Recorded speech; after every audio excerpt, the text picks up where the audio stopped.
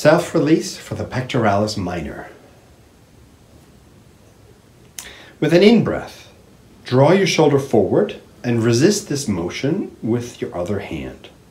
While continuing to breathe normally, hold this pose for five seconds and release with an out breath. Rest for one breath. With an in breath, draw your shoulder back and resist this motion with your other hand. While continuing to breathe normally, hold this pose for five seconds and release with an out breath.